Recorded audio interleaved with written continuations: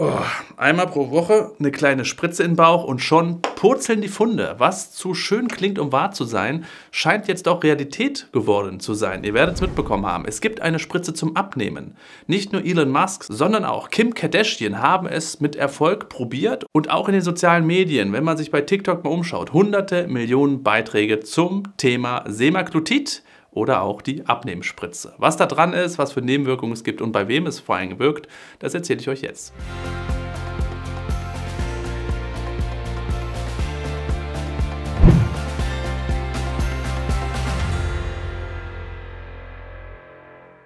Mein Name ist Dr. Med Konstantin Wagner, ich bin Frauenarzt und mit diesem Kanal versuche ich, die Frauengesundheit wieder ans Licht zu rücken und all die Themen, die die letzten Jahrzehnte vergessen wurden, aufzuarbeiten und mit euch zu besprechen, damit ich euch helfen kann. Damit ich euch helfen kann, helft ihr mir, indem ihr abonniert, kommentiert, die Videos teilt, dass es wirklich um die Welt geht. Dann kann ich nämlich zusehen, dass ich mehr Videos dieser Art mache. Um den Wirkstoff Semaglutid ist ein riesiger Hype entstanden. Aber wie funktioniert das eigentlich, wenn ich mir hier was spritze? Was passiert da genau in mir drin? Das Schlüsselwort ist ein Peptid, was sich Glucagon-like Peptid nennt, also so ähnlich wie Glucagon. Glucagon wiederum ist ein hormonartiger Stoff, der unseren Blutzucker erhöht. Er setzt quasi in der Leber an und führt dann dazu, dass aus einem Speicherzucker der normale Zucker, den wir als Glucose zum Beispiel kennen, freigesetzt wird. Freigesetzter Zucker im ganzen Blutkreislauf ist in einem gewissen Maß okay, aber wenn es zu hoch ist, das kennen wir alle, führt es nicht nur zu vielen Erkrankungen, die die Gefäße zum Beispiel angehen, sondern eben auch zu dem typischen Bild des Diabetes mellitus. Und wir kennen alle auch den Stereotypen, da hat man ein bisschen zu viel Gewicht auf den Rippen. Und wie genau dieses Glucagon-like Peptid funktioniert, vor allem das Semaglutid, was diesen Wirkstoff quasi nachahmt, dazu komme ich gleich noch. Kurz mal vorweg, für wen ist eigentlich diese Spritze gedacht?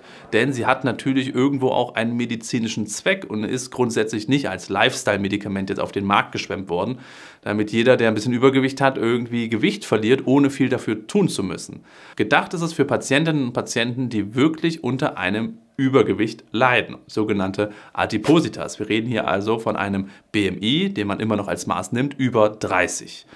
Bei Patientinnen und Patienten mit einem BMI zwischen 27 und 30 und einem zusätzlichen Faktor, nämlich einer Vorerkrankung, zum Beispiel ein Schlafapnoe, Zustand nach Herzinfarkt, ein Diabetes mellitus Typ 2, Arthrose, oder anderen Fettstoffwechselstörungen und so weiter und so fort, haben eben auch eine Indikation für Semaglutid als Abnehmspritze.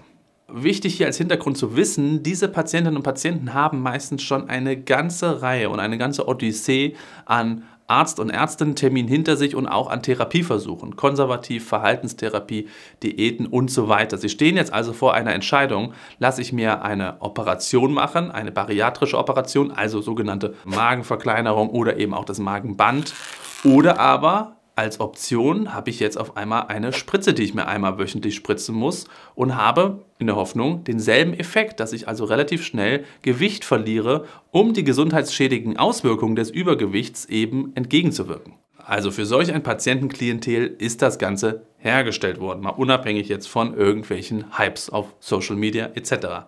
Aber wie funktioniert das Ganze jetzt wirklich in der Zelle mit diesem GLP und GLP1? Semaglutid ist im Grunde ein Imitat des körpereigenen Stoffes. Und deswegen nennt sich das auch ein GLP-1-Agonist, weil es auch genauso funktioniert am Rezeptor wie das körpereigene Peptid. Es kommt also dazu, dass dieser Wirkstoff an dem Rezeptor in der Bauchspeicheldrüse ansetzt und dieselbe Kaskade lostritt, die eben auch der körpereigene Stoff macht. Und diese Kaskade besteht daraus, dass vermehrt Insulin freigesetzt wird in dem Blutkreislauf des Menschen. Und Insulin, ihr werdet es vielleicht wissen, führt ja dazu, dass die Glucose in die Zellen kommen und so auch verstoffwechselt werden können. Also wir wollen ja irgendwie zusehen, unser Körper ja auch, dass die Glucose im Blutkreislauf relativ konstant gehalten wird und nicht zu hoch wird. Wir müssen also Glucose ständig verstoffwechseln und das macht eben Insulin. Es schleust die Glucose in die Zelle rein und da kann sie dann verstoffwechselt werden. Kein Insulin, kein Einschleusen und deswegen summiert sich die Glucose im Blutkreislauf. Ich hoffe, das war jetzt so einigermaßen klar. Und wir schlagen ein paar Fliegen mit einer Klappe Semaglutid, denn zusätzlich wird auch noch die Glucagonfreisetzung, ihr werdet euch vielleicht erinnern, in der Leber führt Glucagon dazu, dass ja Glucose freigesetzt wird in den Blutkreislauf. Das wollen wir eigentlich ja auch nicht. Und genau das macht Semaglutid eben auch. Es hemmt Glucagon. Und jetzt kommt noch ein toller Punkt, was Semaglutid auch kann. Es verzögert nämlich die Magenpassage. Das heißt, deine Nährstoffe sind länger im Magen und du hast auch länger dadurch ein Sättigungsgefühl. Kommst also nicht in die Bredouille, dir direkt wieder das nächste reinschaufeln zu wollen. Und alles zusammen scheint ja sehr effektiv zu sein. Funktioniert das jetzt auch wirklich? Und dafür schauen wir uns mal Studien dazu an. Hier gibt es viele randomisierte klinische Studien, also auch mit einer relativ hohen Evidenz, die verschiedene Konstellationen ausprobiert haben. Und eine Studie, die Step 1 Studie zum Beispiel, hat verglichen, was mache ich jetzt mit übergewichtigen Menschen, die eine Lebensstiländerung zusätzlich machen zur Gewichtsabnahme, keinen Diabetes haben und einmal Semaglutid bekommen und einmal ein Placebo bekommen. Also beide Gruppen sind quasi übergewichtig, beide haben kein Diabetes mellitus, beide haben schon Lebensstilinterventionen gemacht und machen sie auch zusätzlich. Placebo, Semaglutid.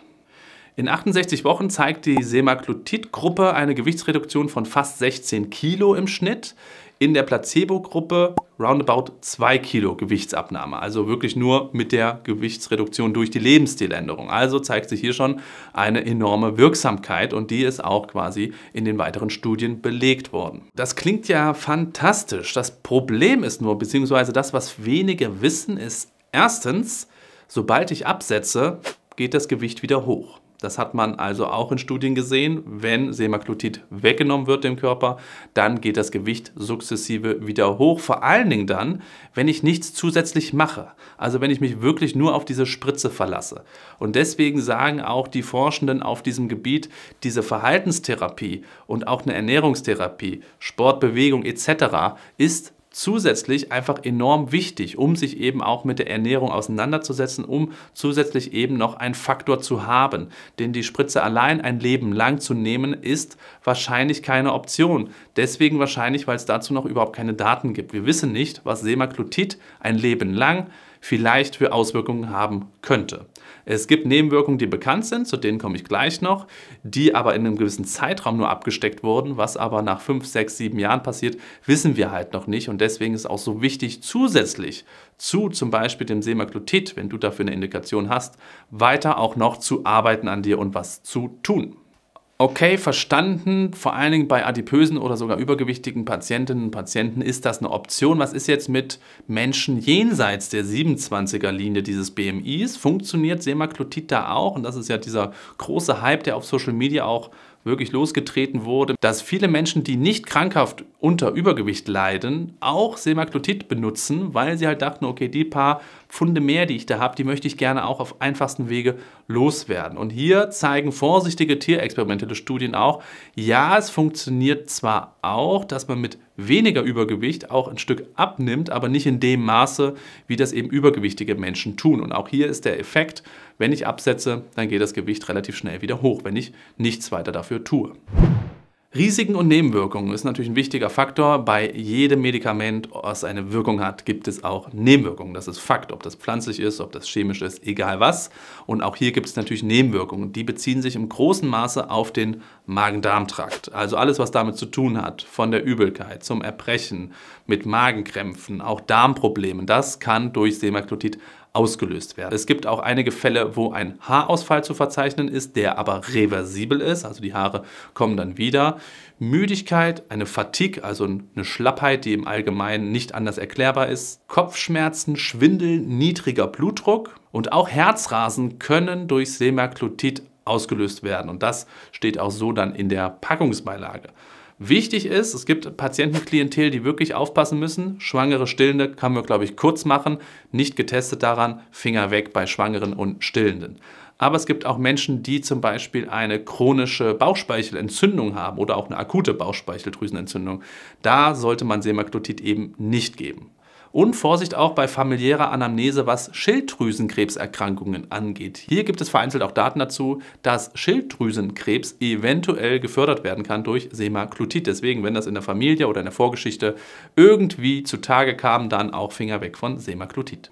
So, dann kommen wir jetzt mal hier zum feinen Geld. Was kostet das Ganze und übernimmt das denn meine Krankenkasse? Ich hoffe doch. Da muss ich dich leider enttäuschen. Natürlich, die Leute, die das jetzt auf etwaigen Lifestyle-Gründen irgendwie beziehen möchten, die kriegen das natürlich schon mal gar nicht bezahlt, sondern müssen es monatlich selbst bezahlen und da bist du mit 300 Euro aufwärts dabei. Auch die Menschen, die eine medizinische Indikation hätten, bekommen es aktueller Stand nicht bezahlt, müssen also auch die 300 Euro im Monat hinblättern. Hier gibt es ganz vereinzelt auch mal Ausnahmefälle, wo man mit den Krankenkassen individuell was besprochen hat, aber grundsätzlich wird es noch nicht übernommen bei medizinischer Indikation. Interessant ist auch noch, dass es Anfang, Mitte des Jahres einen kompletten Lieferengpass gab von Semaglutid. Es gab es einfach nicht mehr, weil natürlich ein riesiger Hype losgetreten wurde, nicht zuletzt durch prominente Personen, die das ausprobiert haben und auch Social Media, dass die Personen, die es ja eigentlich nötig hätten medizinisch, gar nicht mehr an ihre Medikamente rankamen. Auch deswegen wahrscheinlich auch eine große Zurückhaltung bei der Kostenübernahme weil es ja dann doch die ein oder anderen Menschen gibt, die einen Schlupfwinkel nutzen, um an diese Spritze ranzukommen, obwohl sie es vielleicht nicht nötig hätten. Deswegen großer Appell, nein, es ist noch kein Lifestyle-Medikament. Es kann natürlich eins werden, weil wie gesagt, wer schon mal Sport gemacht hat, sich ernährt hat, bombenmäßig und trotzdem nicht so viel Gewicht abgenommen hat, das kann frustrierend sein. Und da ist natürlich eine Spritze sehr attraktiv, wenn man das einfach mal so auf dem Blatt Papier betrachtet.